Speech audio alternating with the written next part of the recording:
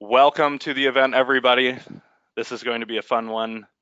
Um, you are going to come out of this webinar with a good grab bag of sales messaging techniques and principles and frameworks that are going to help you inject a tremendous amount of urgency into your deals. And I couldn't be more excited about who I'm talking about with this. So we've got Kyle Bastian. I'm going to see if I can orient myself around this deck first of all. Here we go. Kyle Bastian. So I'm going to say a bunch of stuff about Kyle that I know he wouldn't say about oh, himself. Oh, uh, so I've gotten to know Kyle, I think over the last year and a half, maybe even two years, back when he was director of sales training and enablement over at a company called Copper. Mm-hmm. And he has proven himself to be just a tremendous sales enablement leader, sales leader, and I would I would argue, I don't know if he would say this, but I would argue product marketing leader as well. He is very good at coming up with just crisp, punchy messaging that really gets through to buyers and helps them uh, come across the finish line here. And he has a long track record of a lot of different sales leadership roles to bring just a rich perspective to the conversation we're going to be having today about sales messaging. And then, of course, we've got myself here. I won't spend a lot of time introducing me. I would assume a lot of the people on this webinar know who I am because you guys probably registered through our email list. Um, but just the so short story, I'm Senior Director of Product Marketing over at Gong. Uh, been here for about three years and really, really loving it. And we're going to talk about our perspective on rolling out messaging, both from my perspective as a product marketing leader and previous sales person and sales leader, and Kyle's perspective as, as a sales enablement leader, a sales trainer, and the other roles that he's held throughout his career. So really quick, stay tuned for the very tippy top end of the webinar. We've got an awesome giveaway that we're giving away totally for free for every or for anybody who registers for the sign up. It's going to be a version of our sales deck that we use at Gong that's based on pretty much all of the principles that we're going to be talking about today. Because what you're going to learn during this webinar is a lot of powerful principles, but a lot of them need to be pulled down to earth. Okay, you need to understand what does this actually look like as far as examples go. And of course, we're going to give you a lot of examples throughout this entire webinar, but at the end, we're going to give away our deck so that you can see how all of these principles come together and materialize like as a sales deck. Okay, so let's get started. Um, I am excited to have this conversation. The best message today wins. Okay, this is not, this has not always been the case. Today in business, the best message or the best story is what wins markets. And a big reason for that is because there are so many products in every category today. So if you look at Martech, just as one example, which is something you know Kyle's going to talk about a little bit later, there are between five and five and 7,000 MarTech vendors, like marketing technology software vendors. There used to be much fewer. And when there were fewer in each category, you could rely on just a really good product to win. But now, because there's so much competition and choice and noise in pretty much every category, it's really the messages and the story that cut through the clutter and win markets over the long term. One example of that is Zuora, so Zuora is not the only subscription billing company out there. There are plenty of other competitors, but they have won the unfair share of the market, the lion's share of the wealth. They're the market leader because of the story that they have told to the market over a period of like five or seven years. It's the subscription economy. Okay, their entire company has really rallied around that instead of talking about you know product features like billing and that kind of stuff. Uh, Drift is another example. And Kyle, I would love to hear your perspective on Drift and your story and your messaging here. Yeah, for sure. And Chris, also thank you for the extremely warm introduction and, and maybe undeserved, but I appreciate it anyway. Um, and I'm also not letting you get off that easy. I mean, you guys all know Chris. This guy goes by the professor. And uh, and on this topic, Chris, like I actually we met uh, we met a few years ago, and I had reached out to you because I read one of your first Gong Labs articles when you guys were breaking down the company story itself, and you were talking about how if it's longer than if it's like the trophy case company story of like the funding you've received and uh, the amount of years you've been in business and the clients that you've won that people like check out after like two minutes Yep. Um, and I remember I read that. I reached out to you to ask how you were you were coming up with this stuff because uh, it was gold. And then I started Lots training my wine. team on that years ago. Yeah. So um, we actually met over a conversation around this very topic a few years ago. So I'm glad to be back here talking about it with you guys again. Yeah, Um, and Drift seems to be winning the unfair share of their market with this story that you guys are going to market with. So that's a great point. This the thing about this, we're going to talk about how to create this narrative and these stories. Like basically, what we're going to talk about is like the company story. You know, only it's it's going to replace, you know, the first ten slides of your enterprise pitch deck and and and that kind of stuff, which I would argue nobody customers don't care about, doesn't do anything for them, with a far more compelling and foundational idea of um, of kind of like raising stakes and um, and Yep. and how to kind of and, and where you fit in that right? Um, and so yeah you talked about you know Zuora kind of like creating this stuff. Um, I'll talk about drift in a minute. I think this whole thing though is just so foundational because this isn't just how to pitch better it's actually like how your company is going to succeed like the story that you tell the market needs to be the same story that your founders tell your investors, that you tell your employees when you're hiring them. Um, this is rooted in a lot of crazy research that's talked about in um, in Sapiens, right? And and uh, they talk about Dunbar's number of 150, over which that's the amount of people that you can have like personal relationships with and have Hmm. ties of community. And anything over that, uh, societies tend to like splinter and break down. And then maybe this has happened at companies before. Um, like Chris, you uh, how many employees at the company you worked at before Gong? The the company I worked at Yeah. before Gong. Mm-hmm. Uh, so that was a couple companies ago because before that was a startup that I was running, but it was InsideSales.com, and I think we were at probably six or seven hundred employees when we left. And just a quick anecdote about Dunbar's principle before I Mhm. pass the torch back over to you. As we were approaching 150 employees at Gong, this was um, maybe nine months ago or so. Our CEO got all of us executives in a room over the course of weeks. You know, we didn't just get this done in one meeting, and we defined our company operating principles. And the reason we decided to define those company operating principles then instead of any other point in our history is because we were approaching that 150 number. And if we didn't define that stuff before we got to 150, things would start to break down and people wouldn't have guidelines for decision making. So, not really the topic we're talking about now, but since you talked about Dunbar's principle, uh, I've been burning to talk about that ever since. I know, man. And well, and here's the thing: is like I, I've uh, I've been at a um, I've been at a couple companies. I've been at a uh, a company that got purchased by Intuit, and I stayed there for a few years. So like a 20 billion dollar public company. I've been through three companies now uh, while they crossed over that 150 number, and I, I bring it up because I think it relates so much to this topic because the the success with which those companies made that transition uh, directly related to the consistency and the credibility with which they told this story or this narrative about the business. So uh, we're going to talk about how to build this story in a way that helps you in a sales context. But I want you to keep in mind what this helps, like like what how this applies to just like the the how it applies to your company as a whole. Um, Yep. Because I think this is foundational, and like I've come to believe that this is literally the difference between companies that make it through that transition smoothly or relatively smoothly, and those that don't. So this is this is critical stuff. You're right. Um, you're right. So yeah, so as it relates to to drift, you know, we've got a pretty interesting story. Like we look at a few things. So we we point out forms, and this is like we look at forms, and forms frankly aren't the enemy. They're just like the most obvious symptom um, of what's happening. And what we see happening is that uh, there's kind of three different consumer behaviors that are taking place right now that are combining to really change the dynamic in B2B sales. And those are things like uh, G2 Crowd and Gartner, and basically this prevalence of information that customers can get and research on their own. Now that that's not new; that's been around for a long time.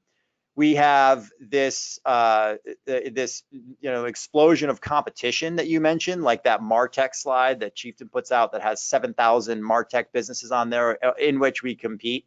Um, and then the last one is our favorite consumer apps like you know Netflix and and uh, Uber, uh, Spotify, even Amazon that have created this expectation of now um, and getting what you want immediately uh, amongst consumers. And consumers don't act any differently when they go to work. You know, they're starting to expect that more and more now. But if you look at what our B2B sales and, and business processes look like, you know, there's inbound SDRs that qualify leads um, to prevent people who wanted to talk to sales from talking to sales, which is which is crazy, right? Like we put friction in these processes all over the place um, because we're trying to sell more, we're trying to protect our own business interests, and we're not making it easy to buy. And it's that disconnect that I think explains some of the numbers that you see in B2B sales right now, where we're spending $5.1 billion a year on paid advertisements, and it's only converting uh, on landing pages at 2.3% of the time. Right now, that's objectively terrible, but it's something that we as a bit as an industry have accepted because we're benchmarking, you know, our, our, our peer groups and other companies, and, and that's what everybody is dealing with. So it's something that we've come to accept, right? Um, so you know, we've taken the the we've realized that like the way to make it if we're going to use as the top design cue, how do I make it easy for people to buy from us? Then we have to have more conversations with them and remove the friction to those conversations. And so it's that idea that Drift has been founded on. Um, and forums just represent, you know, like um, um, well, a convenient like toaster to make the point in this case. Yeah. Yeah. now, you in the audience, I want you to notice a few things that Kyle said as he was talking about how Drift approaches messaging. He was talking about trends that are out there in the marketplace. They have nothing to do with Drift or Drift's products. They're trends out in the marketing or marketplace about how buyers' worlds are changing and their buyer habits are changing and they're becoming more powerful. And those types of trends threaten Drift's potential customers' status quo. We're going to come back to that toward the middle of this webinar and talk about how you can come up with your own version of that. A couple other examples of narratives that win markets are Gong's three pillars of revenue success, you know, up leveling the perception of what Gong is, which, you know, people used to think it was just this call recording tool with a few be bells and whistles. Um, this is another example of a company narrative. And one more before we actually get down to the brass tacks of actually how do you do this stuff and how do you come up with your own is the iPod. So iPod was not the first MP3 or MP3 player on the market. And I know this is an older example. This is 15 or 20 years back at this point. But there were tons of MP3 players. They were all competing on features and storage and I don't even know. It's been a while. I mean, 15 or 20 years. Uh, and then Steve Jobs comes out with this just single, or not single, but small story. It's like five words 1,000 songs in your pocket and that just stole the market. They repeated that message over time and they won the market, even though there were plenty of other competitors out there. So if you come up with your own narrative like this that can be used both in the brass tacks of the sales trenches and as high level as an investor pitch or uh, what your product marketing people say to analysts, it's going to be game over as long as you repeat that message over a very long period of time. So a couple quick stats to kind of just frame up the current state of messaging in most companies is this is how executive level sales leaders feel about sales messaging today. Okay, so 10% of them feel that sales calls or 10% of sales calls are not valuable enough, or only 10% of sales calls are valuable enough to uh, warrant the time they spend on them. And only 7% of executives would uh, agree to a follow-up meeting based on the content of that sales call. In other words, uncompelling messaging tends to happen in most sales calls. And Kyle, I know you can speak a little bit more to this stat than I can, so I'll pass the torch back to you. Yeah, I've run these numbers at a couple places, and I think if the the stat is that like 60 like 68% of your deals aren't even being lost. Like if you don't win a deal and you look at the loss reasons, almost two thirds of them are going to be lost to either like no decision or went dark. And then when you follow up with those went darks, like three to six months later, you found out they actually didn't go with the competitive solution. Yep. So I interpret they this as nothing. like you're not, yeah, you're not losing deals. You're just you're not winning them either. You know, um, and like and, and I think this. I'll, we'll, we'll talk more about this later, like the dynamic at play, especially the the not now, right? Like when people like continuously punt close dates month over month over month um, you show this stat, any of the sales leaders out there, to any of the people on the floor, and you're going to get like, oh my God, yes, it's it's literally probably the worst part of their job. And I think with the the what's not shown here is that these deals, unfortunately, are often the ones that people spend the most amount of time on. Right? And I, will try not to like bro out and bring in too many sports or like poker analogies here, but there's this idea in in poker that the person who finished second was the one who folded first. And so the idea with this game over strategy is that you'd rather like take a bold stance at the beginning of the process and have them be like, look, I don't see it that way, or I, I completely disagree with your take on the market, and like end the process right there, than you know spend months and hours and and uh, and tons of time and investment on on a deal where somebody's just like fundamentally not going to agree with like the story, the premise on what you're doing. Um, Another, so you'd rather lose the deal quickly than or than lose it slowly, you know. Yeah, another thing I want the audience just to keep in mind as you've been talking is notice you didn't use the word polarizing, but the description of your messaging implies that it should be polarizing. And we're going to talk about why that is and how to come up with your own, which is uh, part of one of the first techniques here, which we can get into, which is called start with a nexus. Okay, start your messaging with a nexus. This is your 1st grab mm-hmm. bag of messaging techniques and principles that you can put to use hopefully pretty soon here. And before we define what a nexus is, we're going to define why you need a nexus. And Kyle, I know you have some thoughts about um, what we're looking at here on this slide. Do you want to maybe voice over this one? Yeah, this is so a lot of this is like a lot of these ideas are in like prospective selling methodologies and like Challenger being like the most prominent one, but uh, but this is a concept from uh, force management actually, which is you get relegated to the level of the person that you sound like.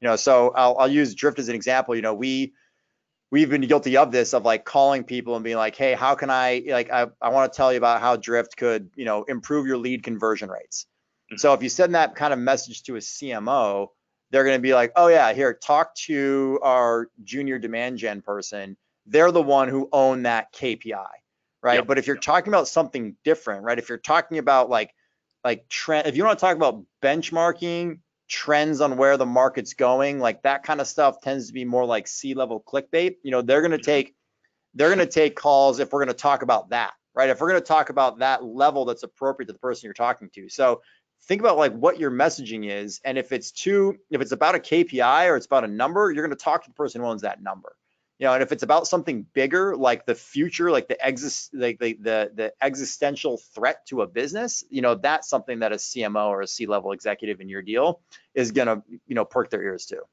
Yeah and i would also argue the opposite is true. If you go to somebody who's kind of like mid-level you've been trying to get this to the senior executive but just haven't heard back and you go to somebody mid-level and you come to them with this really C-level senior executive sounding message. In some yep. cases, they're going to punt you upward because maybe they're going to look good to their boss. Not every time, but the the mm-hmm. principle we're looking at here on the screen actually applies both ways. You'll get punted down and you'll get punted up depending on who you sound like and who you're talking to. And I yep. know you guys um, had some interesting stats specific at Drift. Um, you know, I won't steal yeah. your thunder want to talk about? No, no, you're absolutely right. Yeah, we, I mean, we've we've looked at this in our business. So if if you know the previous point is about like how to talk to get the the the C-level in the room, um, this is the financial case for that. You know, and we've even witnessed in our business that our ASP in in our in our uh, um, ideal customer profile segments is 2x when the CMO is involved and the deals close 30 days faster when we're having this conversation, when we're talking about the mm. game over strategy, um, the financial uh, impacts are huge um, for our business, and I would argue for anyone else's. All right. So now that we've framed up the problem that a Nexus solves, which is getting you squared away with the C-level executive, let's talk about exactly what a Nexus is. And I have a quick mm-hmm. call to action for everybody in the audience. I would suggest you screenshot this screen that you're looking at here so you have this on hand. Of course, we're going to send this out after the webinar is over and you'll have it, but I would recommend screenshotting it so it's on your desktop. So a nexus is the beginning of your narrative. It's the beginning of your message, and it is a polarizing insight that changes how your customer thinks or feels about either the problem you solve or the opportunity that you help them exploit. Yep. Okay, it's not quite the same thing as like a challenger sale reframe. A challenger right. sale reframe is a type of nexus. A nexus can be a little bit broader than that. So I'm going to walk you through a few examples of some nexuses, if that's the plural form of the world. Maybe maybe it's nexi. Uh, that that really worked. And the first one I'm going to talk about, the product is a book. Okay, the book is called The Power of Full Engagement, and this is a book on productivity. And the nexus the authors came up with to sell this book is they said it was an insight. They said productivity like professional productivity, is Mhm. not about time management, which is what everybody thinks it is. It's not about time management, it's about energy management.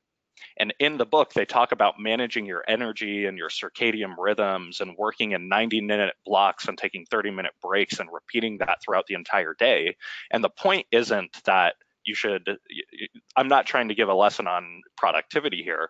The point is this book, when it came out, which was, you know, 15 years ago or, or so, cut through the clutter of productivity books by saying everybody's talking about how time management is the key to productivity. And we're here to say that it's only a tiny part of the pie. The bigger piece to the puzzle is energy management. So that was the nexus. It reframed how people were thinking about the problem, which is productivity. And the reframe is from time management to energy management, which is what we're looking at here, going from managing time to managing energy. Life as a marathon versus life as a series of short sprints where you exert and recover and exert and recover. Now, Drift has their own nexus. We're going to give you a few examples of what a good nexus sounds like. I've given you one. We've got a couple more to cover. Kyle, do you want to talk talk about Drift's nexus? Yeah, so you know, this is on our website right now. This is we've been talking about this for for a few years here at Drift. And the way I think of a nexus, like I'll tell you a, a quick story if you'll indulge me, Chris. When I was a kid, I didn't I need glasses. I'm wearing contacts right now, and I'm nearsighted, right? I didn't know that uh, until I was 20 years old. I got my first set of glasses, and until then, I thought that's just how everybody saw. I didn't I couldn't see through other people's eyes, so I didn't realize my vision was poor. Um, and then I finally was was you know diagnosed as nearsighted. I got my first set of contacts. I put the glasses on, and I was like, "You're kidding me! This is how you guys all see. Everybody sees like this."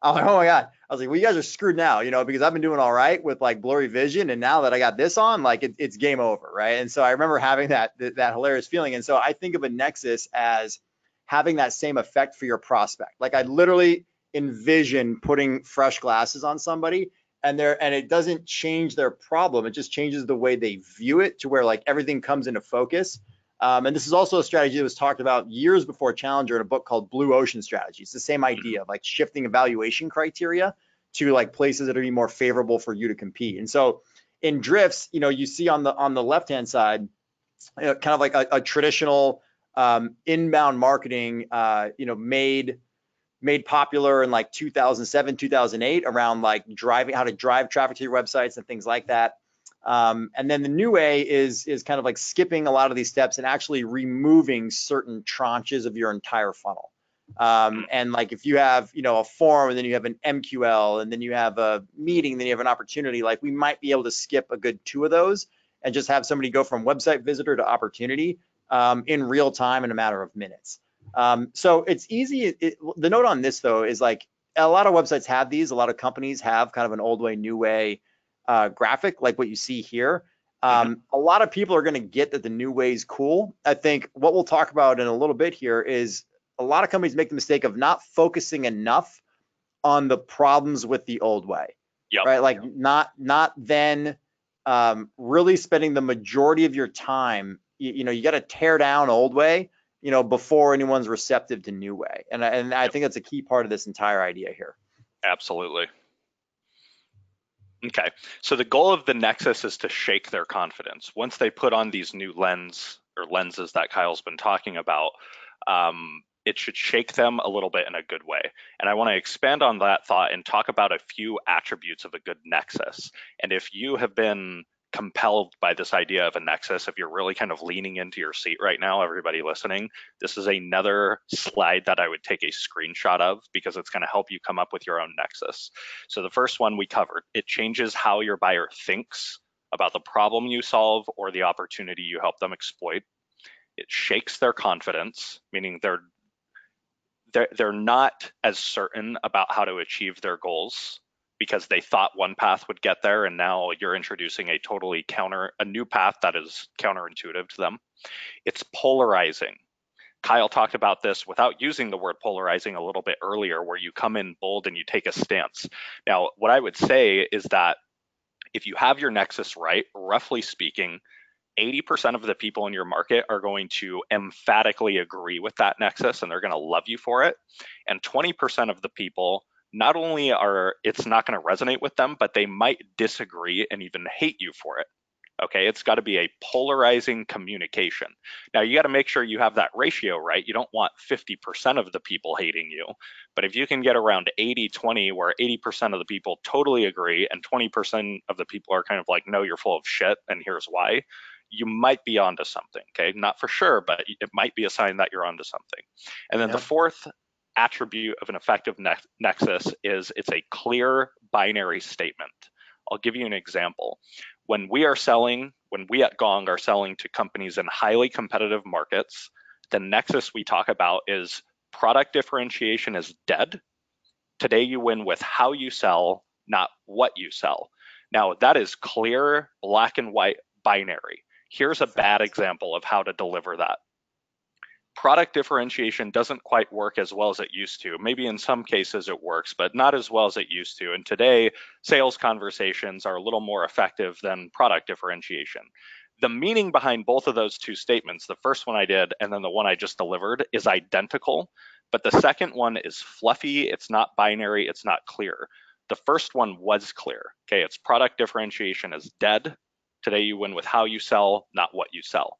Now, Kyle's going to take us through a quick exercise, just kind of a thinking exercise of how to come up with your own nexus. So, Kyle, over to you. Yeah, so um, there's an analogy here with like there's common expressions that people use all the time. I don't know if you're you ever geek out. I do this sometimes. Just if I can admit this, for in the trust tree with the branches. I sometimes like look up the origin of just like common expressions that I have no idea what they mean. You know what I mean, or where they came from. And what you find when you do that is that oftentimes those expressions are used today in, in an 180 degree different usage than how they were initially coined. So I'll give you an example. You guys have all heard the expression like jack of all trades, master of none. Um, it's used usually derisively to talk about, uh, you know, someone being a generalist or in like a, I mean, I've used that in competitive positioning to say like, you know, hey, we're best in breed and they're a one-stop shop, right? And, yep. and it's a good turn of a phrase. That phrase initially, the full sentence is jack of all trades, master of none, but better than a master of one. And it's meant to praise people who have well rounded skill sets in a variety of different areas and somebody who only knows a lot about one thing. So the initial usage of that phrase is was actually 180 degree different than how it's used today. Interesting. I didn't know that. Fascinating, right? I, I had to stop using it once I learned what it meant because I was using it completely wrong. Um, and, and just basically bastardizing the quote. So the the analogy is to study the origin of prevailing wisdom.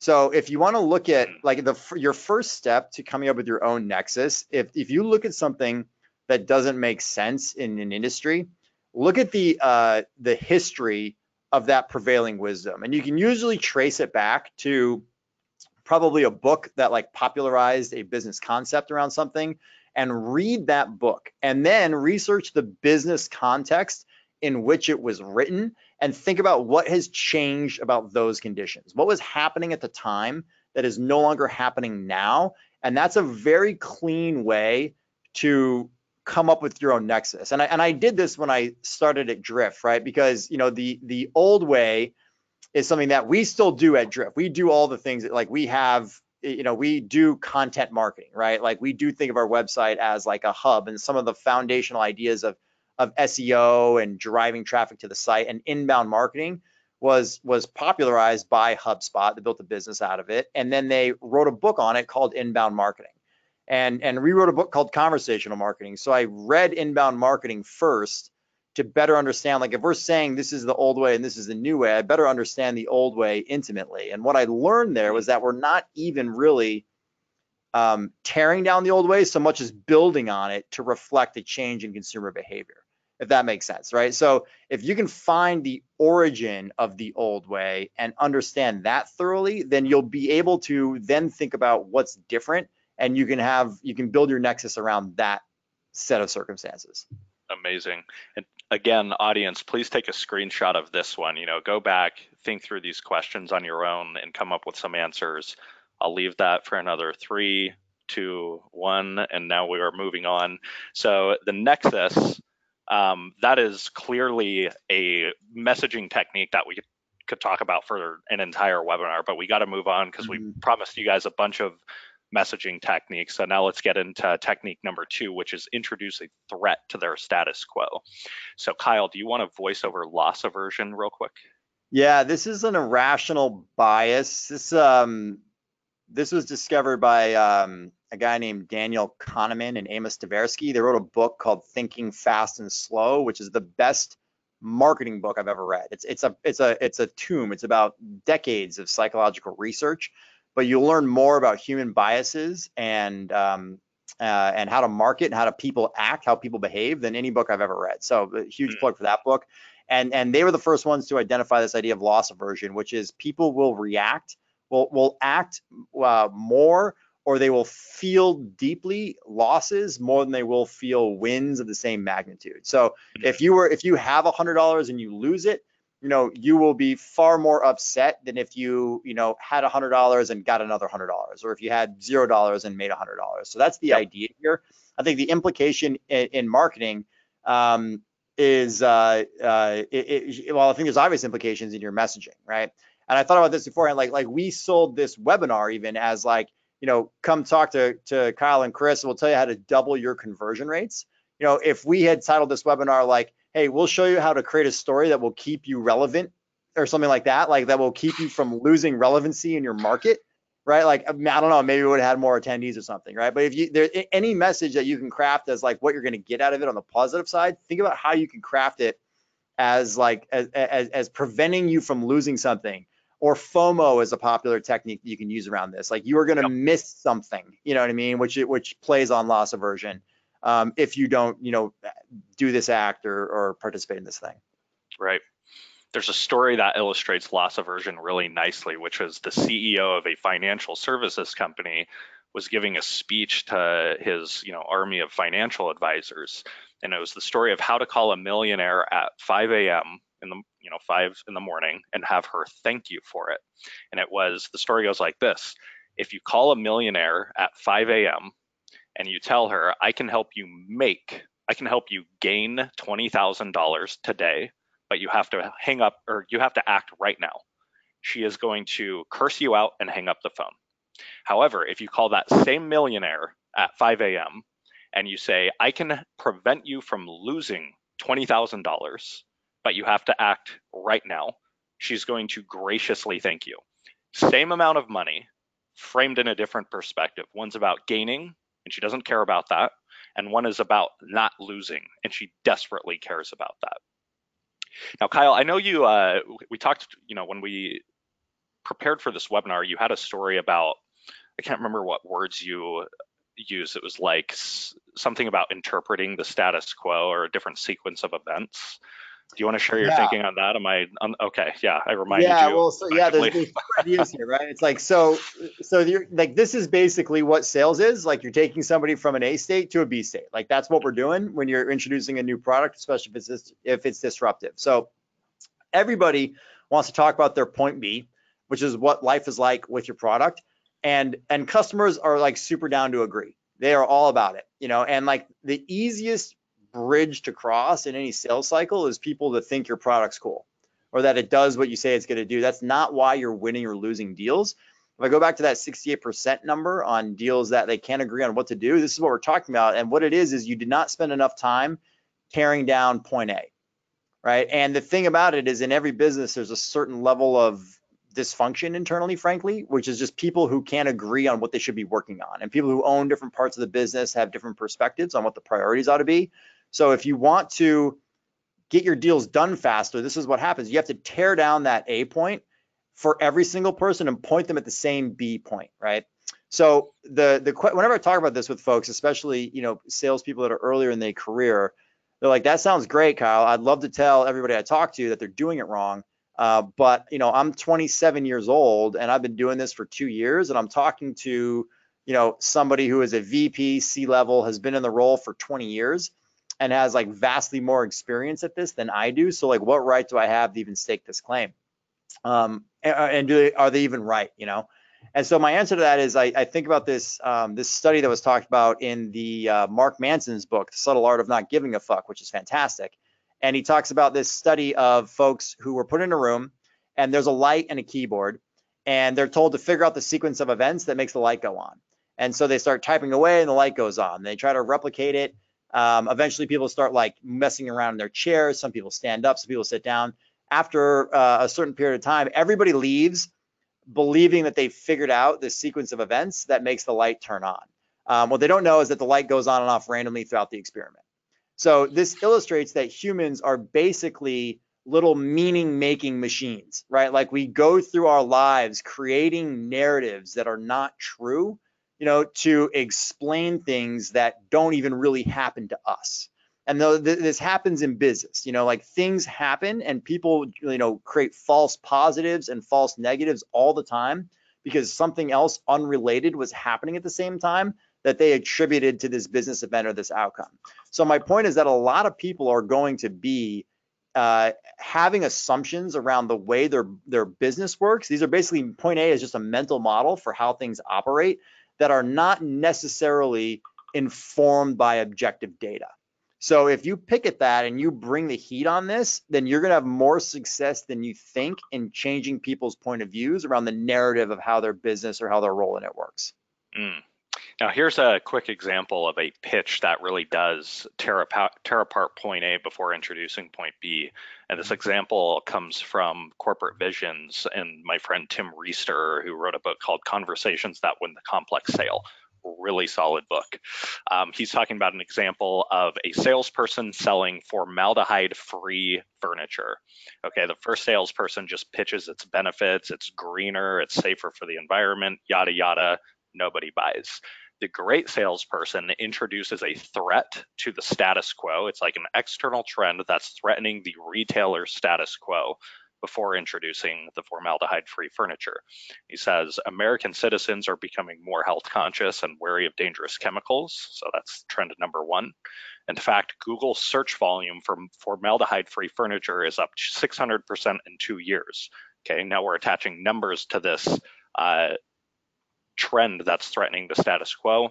We help retailers make good on this opportunity by supplying formaldehyde-free furniture. Massively more, and this is a very simplistic example of the pitch, massively more compelling than spewing off a bunch of benefits about formaldehyde-free furniture and how it's safer or greener or whatever the benefits are. Okay, technique number three is invoke self-discovery. Okay, invoke self discovery is about telling a familiar, painful story that your buyer can see him or herself in as you tell that story. So, Kyle, I know you, you have some thoughts about this one. I also have some thoughts about this one as far as sobriety groups being really, really good at this and helping their, you know, quote unquote, um, potential market come to their own self discovery. I would love to add my thoughts after you first give yours. Yeah, for sure. So this is the idea of like um, you got to make this real, right? Because like to this point, we've you know introduced a, a, a, shocking nexus. You know, we've we've dropped some knowledge around some facts around it. We've like made the case, but now you got to you got to make it real, right? And so I've got you know you you know me, Chris, right? Like I've uh, you know I I have a lot of history with drug and alcohol abuse. I'm I'm sober and I spend a lot of time hanging out with people that are also keen to stay sober. And uh, my experience with that was that if you had told me, and this is a, a, perfect example of this, right? Like if you had told me what I needed to do or what I should do, or uh, or, or tried to sell me any kind of solution around that, like when I was, you know, active in the disease, I didn't mm-hmm. want to hear that. I mean, it's not even theoretical. People did that, right? Like, you know, my wife, like people in my family, friends, like I had a lot of people talking to me about the consequences of my actions in that experience. And um, the, I just want to inter, interject real quick. The yeah. reason you were resistant to that is because you you had a state of mind that starts with a D. Do you know what word I'm looking for? No, no. What are you getting at? Denial. Denial. Which oh, is oh yeah. well, similar... even, yeah, I don't even know if it was that. It was. It was like. I mean, I would like. Yeah, you're right. But I, I just didn't want to. You know, it's like kind of like screw you. Don't tell me what to do. You know, it was yep. more. it, was more more of that. Uh, I was like, yeah, you're probably Which right, but you know, I don't want to hear it. You know? Yeah, this yeah. this is like the yeah. Sorry, well, I keep like the, so like whenever you whenever people share their experience around this, it's always like, look, man, this is what I was like, you know.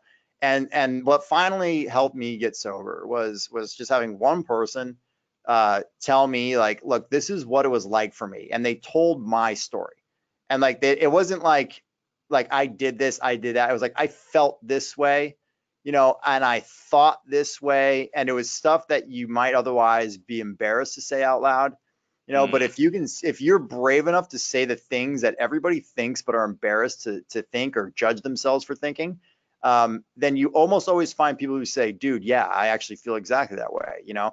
And then it's like, and, and that's like, okay, you have my attention. Like that is how I'm thinking about it. Um, and then you know they share it's like this is what i was like. This is what happened. This was like the the crisis point right? That how i how i you know found the willingness to get help around this. And then this is what it's like now. And it's like you know and if you if you want that you know then i can show you what i did to get it you know? And like that's that's it. That's the entire deal you know? And and there's there's so many like I I I feel like I could talk about this subject for a long time um, because I find like there's so many parallels between like the most effective way to sell and this kind of messaging, where like if you if it's like look man like this is just the the the way the world works. This is how I thought about it before I I started doing things differently. Once we started doing things differently, these are what the results are. Which could be like this is the nexus, you know, this is like the strategy that wins, and here are my my my customer success stories in a, in a business context, right?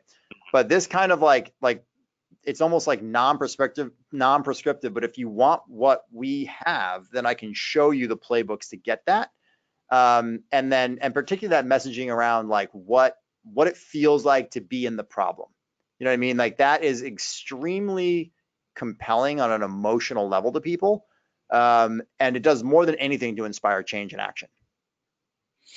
One of the examples of messages you will not see from sobriety groups when they're you know trying to attract people to to join is you won't see them just pitching the point B like we talked about earlier. You won't see them saying like a, a, a testimonial quote. You won't see it saying uh, Alcoholics Anonymous, Anonymous changed my life. My wife came back to me. My career's back on track. My kids are talking to me again.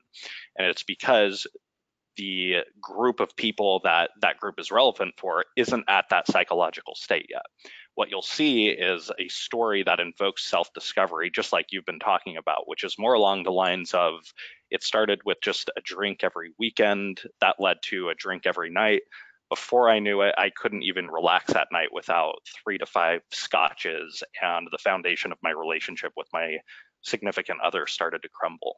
Now, somebody who has not yet joined a sobriety group but should might read that part, that second, you know, testimonial quote, and it will make their heart sink, but in a good way. And it's because you've told a compelling before story, the point A, that they can see themselves in. Mm-hmm. So, really, the principle behind this technique is can your buyer see themselves in the story that you're telling them?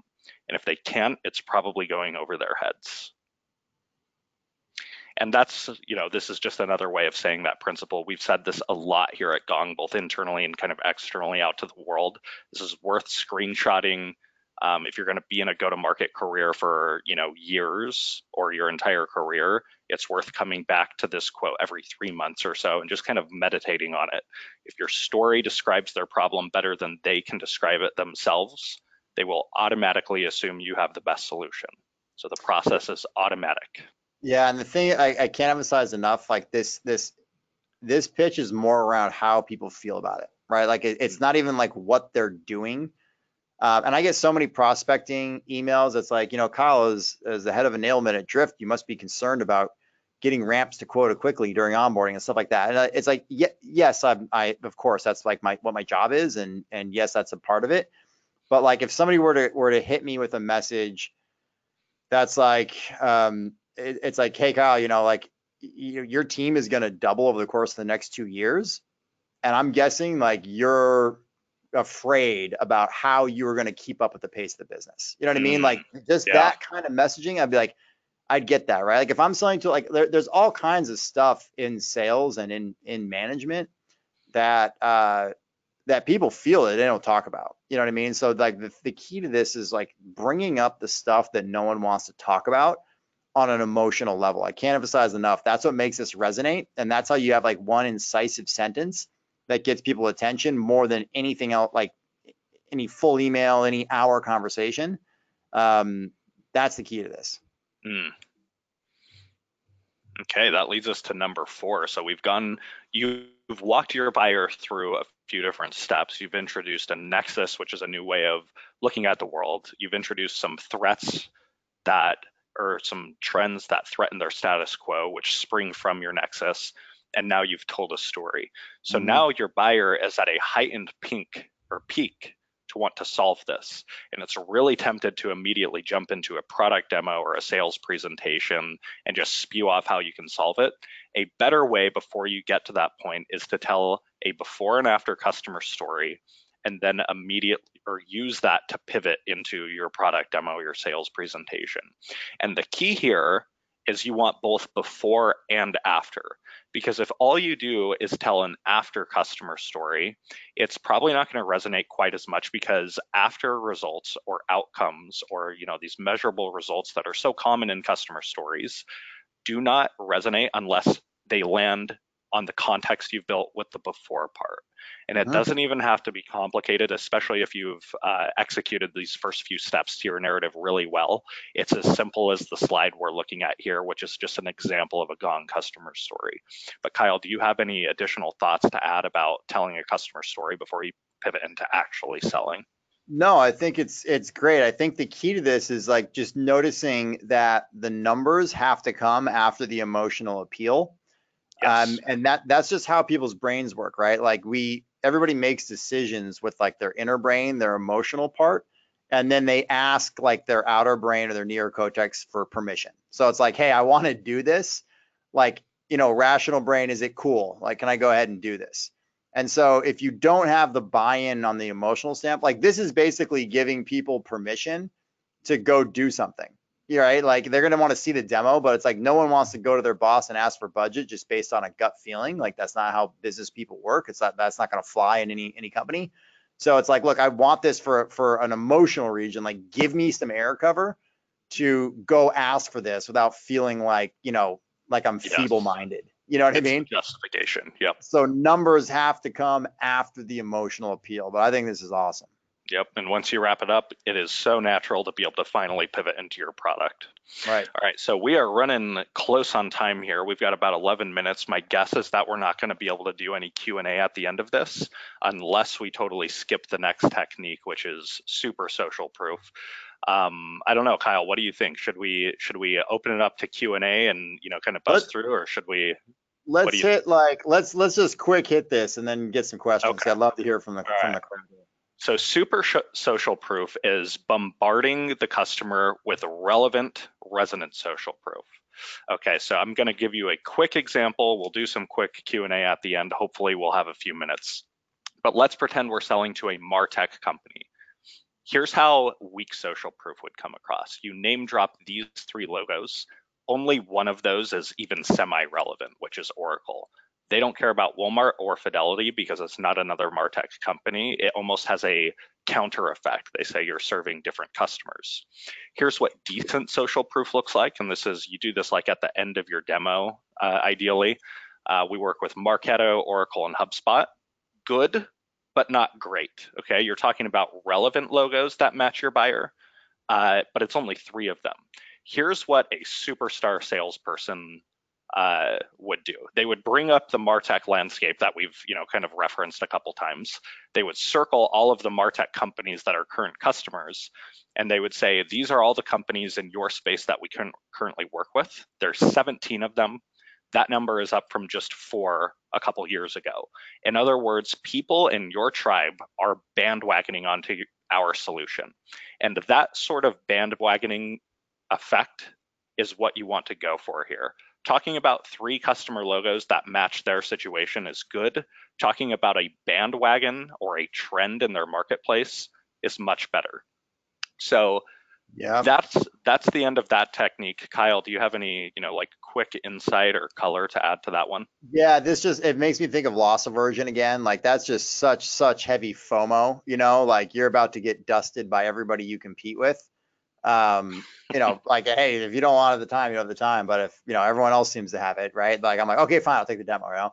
The other thing I think about this when I think about social proof is like, um, that I feel like there's this old marketing technique where if you want a certain target group to buy your product, show the people they aspire to be using it, right? And I, and I always think of like, like like look at like Axe body spray commercials, and it's always like college kids like getting girls, which is why only 16 year olds buy Axe body spray. You know, so like like it's like kids in high school think that's what it's going to be like in college, so they start wearing Axe now, right? So Hilarious.